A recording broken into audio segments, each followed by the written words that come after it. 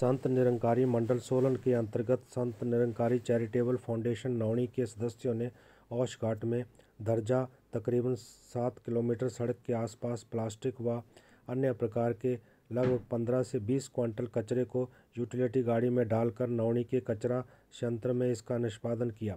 यह अभियान सुबह दस बजे से साया तीन बजे तक चला।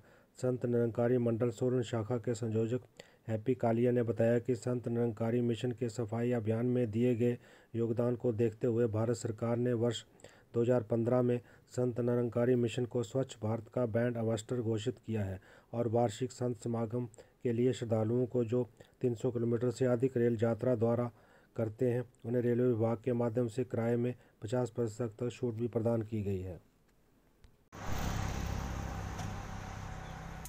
धन जी।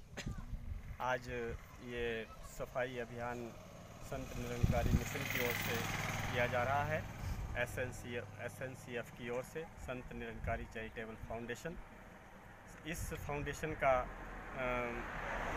जो आगाज़ है, वो सतगुरु बाबा हरदेव सिंह जी महाराज ने 2010 में किया था और आज तक सतगुरु माता सुदीक्षा जी महाराज की ओर से उनकी प्रेरणा के अनुसार हमारे जितने भी संत निरंकारी मिशन के सेवादार हैं वॉल्टियर्स हैं, वो भरपूर कार्य कर रहे हैं।